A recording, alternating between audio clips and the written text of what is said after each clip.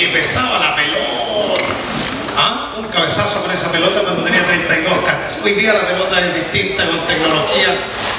Le gusta que la traten como Arturo la pelota, con esa finura, con, con esos pases, esos trazos largos. Quieren ver la pelota.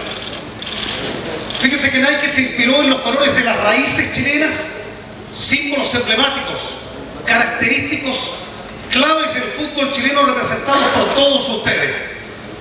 Los invito a revelar la pelota oficial de Copa América, la Orden Cachaña.